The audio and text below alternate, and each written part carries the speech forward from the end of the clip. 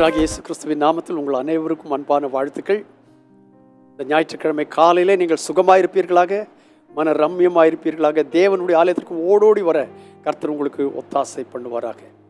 காலை ஆறு மணிக்கும் ஒன்பது மணிக்கும் கர்த்தருடைய ஆராதனையும் அதே போல் திருவிருந்தும் நடக்கும். நீங்கள் வந்து கலந்து கொள்ளத்தக்கதாக உங்களை அன்போடு நான் அழைக்கிறேன். மாலையிலே ப்ரேயர் நடைபெறும். அதிலும் வந்து கலந்து கொள்ள உங்களை அன்போடு அழைக்கிறேன். எஸ்ஐயாவின் புஸ்தகம் அறுபதாம் அதிகாரம் நம் முந்தி நிறைய சிந்தித்திருக்கிறோம். அதாவது எழும்பி பிரகாசி உன் ஒளி வந்தது. ஆனால் இன்றைக்கு அதன் கீழே அந்த அதிகாரத்தினுடைய கடைசி பகுதியில் உள்ள சில வசனங்களை நான் வாசிக்கிறேன். இனி சூரியன் உனக்கு பகலிலே வெளிச்சமா இருக்க மாட்டார். சந்திரன் தன் வெளிச்சத்தால் உனக்கு பிரகாசியும் தர மாட்டார் ஏன்னா இந்த ரெண்டு பிரகாசம் ஒண்ணுமே பிரகாசம் என்று சொல்ல முடியாது. ஏனென்று கேட்டால் கர்த்தருடைய பிரகாசத்துக்கு முன்பதாக இந்த வெளிச்சங்கள் எல்லாம் ஒண்ணுமே இல்லை. ஆகியில் தான் சொல்லியிருக்கிறது இனி சூரியன் உனக்கு பகலிலே வெளிச்சமாயிராமலும் சந்திரன் தன் வெளிச்சத்தால் உனக்கு பிரகாசியாமலும் கர்த்தரே கர்த்தரே ரொம்ப முக்கியமான காரியம். சூரிய வெளிச்சத்தை தேடி போக வேண்டிய அவசியம் இல்லை. சந்திரனுடைய வெளிச்சத்தை தேடி போக வேண்டியதில்லை. கர்த்தரே உனக்கு நித்திய வெளிச்சமும் உன் தேவனே உனக்கு மக்கியமாக இருப்பார். அல்லேலூயா நாம் எழும்பி பிரகாசிக்க தொடங்கினால் நம்முடைய தேவனாகிய கர்த்தர் நம்ம என்ன செய்வார் என்று கேட்டால் சூரிய ஒளியை காட்டிலும் சந்திரனுடைய ஒளியை காட்டிலும் மிக பிரகாசமான ஒளியாய் நம்மோடு கூட இருந்து நித்திய வெளிச்சமாய் அவனுக்கு அவர் நமக்கு காணப்பட்டு அவரே நமக்கு மகிமையாய் இருப்பார். சூரிய வெளிச்சம் என்ன காலையில் துவங்கி மாலையில் முடிஞ்சிடும் சந்திர ஒளி சாயங்காலம் வந்து காலையில் போடும். இதுக்கிடையில வளர்ப்பிறை தேய்ப்பிறை எல்லாம் இருக்கும். ஆனால் ஆண்டவராகி கர்த்தர் நமக்கு எப்படி இருக்கிறாராம் என்று கேட்டால் கர்த்தரே உனக்கு நித்திய வெளிச்சம்.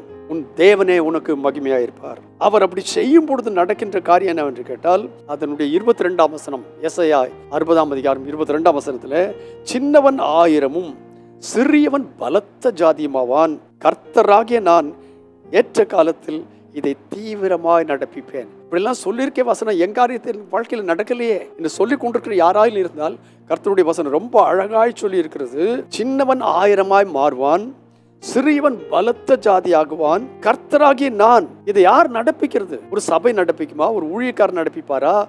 ஒரு தீர்க்கதர்சி நடப்பிப்பாரா? கர்த்தர் சொல்கிறார் கர்த்தராகிய நான் ஏற்ற காலத்தில் இதை தீவிரமாய் நடப்பிப்பேன். கர்த்தர் உங்களுக்கு செய்ய வேண்டிய காரியங்களை செய்யத்தக்கதான நாள் நன்றாய் நெருங்கி விட்டது தீவிரமாய் அதை நடப்பிப்பார். சின்னவன் ஆயிரம் அவன் சிறியவன் பலத்த ஜாதி ஆவான் என்று சொன்னால் உங்களுடைய பலவீனங்களிலே தேவனுடைய பலன் உங்களுக்கு பூர்ணமாய் விளங்கும். உங்களுடைய குறைவிலே தேவனுடைய நிறைவு பூர்ணமாய் விளங்கும். இல்லாதவைகள் இருக்கிறவைகளைப் போல வரவழைக்கிறவர். ஓ ஹாலே லூயா திஸ் மார்னிங் இல்லாதவைகள் இருக்கிறவைகளாய் வரவழைக்கிறவர். ஏற்ற காலத்தில் அதை தீவிரமாய் வேகமாய் நடப்பிப்பார். நீங்கள் அஞ்ச வேண்டிய அவசியம் இல்லை பயப்பட வேண்டிய அவசியம் இல்லை கர்த்தருக்கென்று ஊழியம் செய்து தைரியமாய் இறங்கி புறப்பட்டு எழும்பி பிரகாசிக்க. ஆண்டவராகிய கர்த்தர் இந்த நல்ல நாளில் ஞாயிற்றுக்கிழமை காலையில் உங்களுக்கும் எனக்கும் முத்தாசை பண்ணுவாராக. பரிசுத்த பிதாவே இயேசு கிறிஸ்துவின் நாமத்தில் உண்மை சோத்திருக்கிறோம் துதிக்கிறோம்.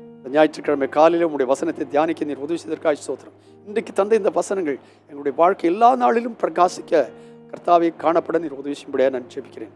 எத்தந்த வாக்கு தத்தங்கள் அவை எல்லாம் ஆம் என்றும் ஆமேன் என்றும் இருக்கிறபடினாலே அதை சந்தோஷமாக ஏற்றுக்கொண்டு அதன் வழி நடந்து உங்கள் நாமத்தை மகிமைப்படுத்த ஏராளம் பேருக்கு சாட்சிகளாக நாங்கள் வாழ எங்களுக்கு ஒத்தாசை பண்ணும். உங்கள் நாமத்தை மகிமைப்படுத்தும். துதி கனமெல்லாம் உமக்கே செலுத்துகிறோம்.